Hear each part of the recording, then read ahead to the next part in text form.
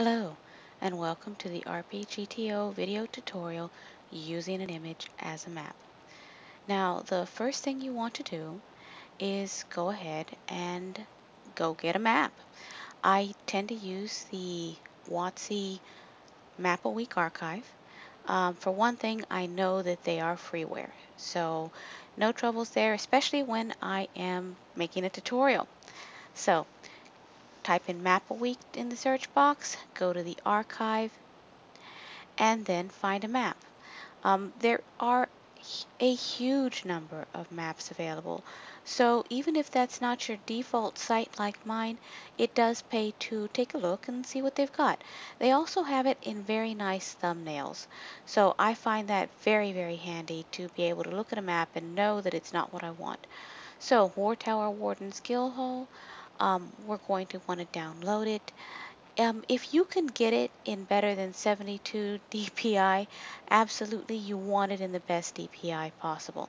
This doesn't come in any other choices, so we're taking it. Alright, the first thing you want is, well, that I want is actually I'm going to um, expand the image. Uh, oh, well, first save it. Save it to your desktop so that you can find it easily. So there we go saving it to desktop, naming it something that I can remember, War Tower Warden's Guildhall. Um, definitely you want to save it as a JPEG file. Do not save it as a PNG. The same map as a PNG is much, much, much bigger file and size matters. If the file is too large, you will not be able to import it and all that work goes down the drain. So PNG. All right, so go ahead and upload it up to GIMP. I use GIMP. And here we have it.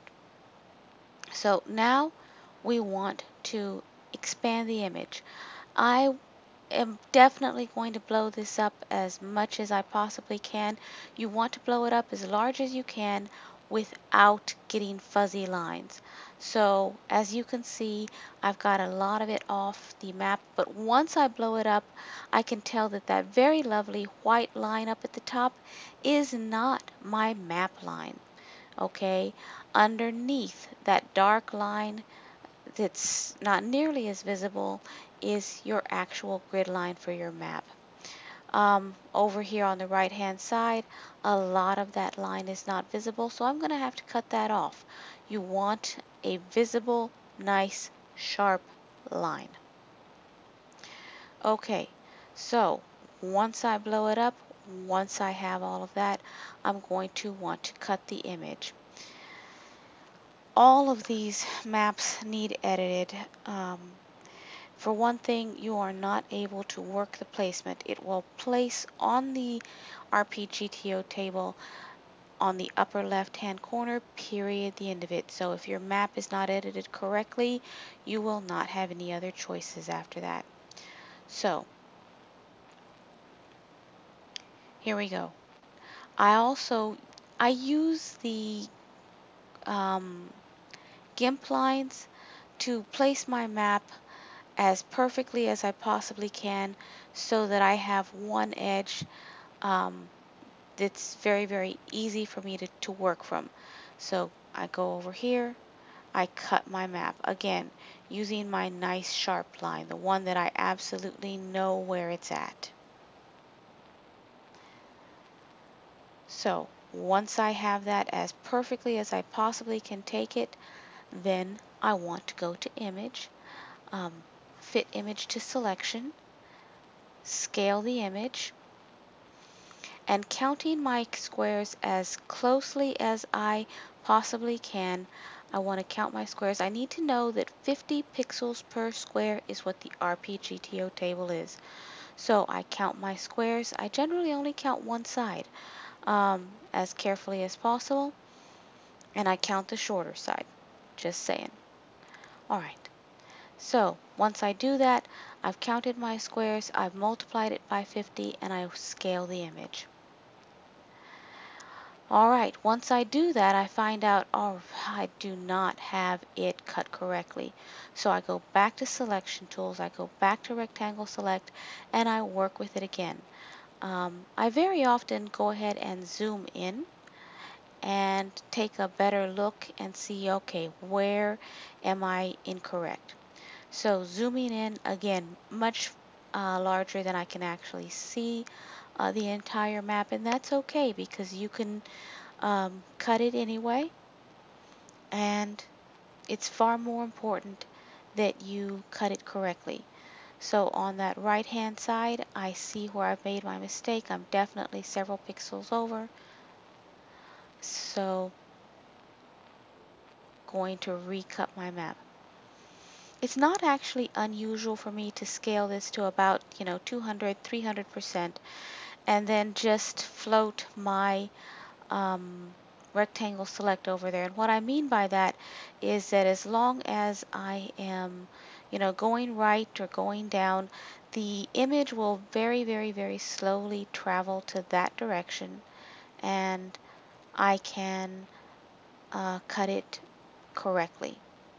So fit, se uh, fit selection to and it's under image go ahead and put in my pixel height and see where I'm at with my width. You'll see that we are still a bit off. And again, working with it to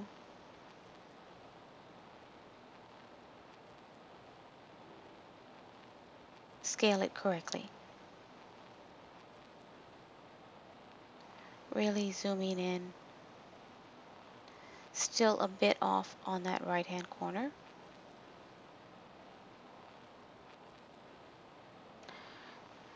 Image, no, tools, rectangle select,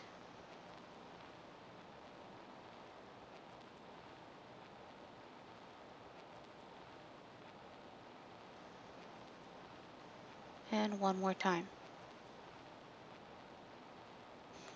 Not unusual at all for me to have to cut several times. Not unusual at all for me to, to need to take a better look at my map. Again, because very often with these images, there will be a line that looks awesome, looks like it's what you need, and is more than definitely not. So scaling the image, and again, that's under image, scale 50 pixels per square so count and then multiply by 50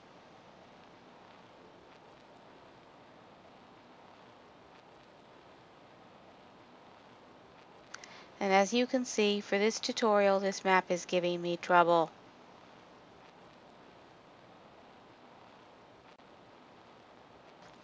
So we're going to use this after this cut. So once again, tools, selection, rectangle select, carefully cutting. Once we have the lines lined up where we want them, we go back to image, scale image to selection, and we're going to take it whatever it is.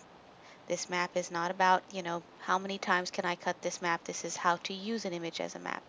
So scale the image. Uh, one pixel off. One pixel is good enough. I don't really like them more than one pixel, but one pixel is good enough. All right, export the image. You want to export it, not save it.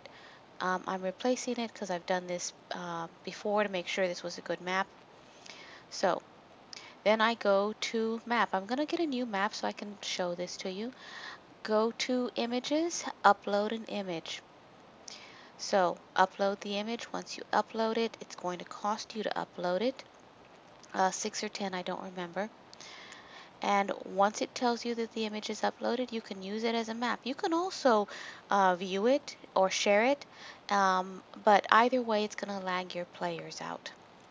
So I upload it and I'm going to put tokens on it for you so that you can see. When the image is edited then you have your tokens fitting inside the lines exactly right. All the way to the bottom corner. Now let's put them in a box where you can see that just a little more clearly. All the way to the bottom corner you've got your tokens fitting your image. Now let's go to other maps. This is an unedited map. Looks awesome. Um, not, and as an image to give a player a view, yeah, fine, but not usable as a battle map. Tokens don't fit, and this is actually one of the better ones. When you edit that image, you lose the edge, but it still looks good. Okay. And your tokens now fit. So line of sight, AoEs, all of them able to be done. This one was, uh, I think, 6 pixels off and it's showing, but still usable. Alright, Kobold Warren, another edited map. Or is it? Yes. Edit it and you can use it. You lose the rocky edge, but that's okay.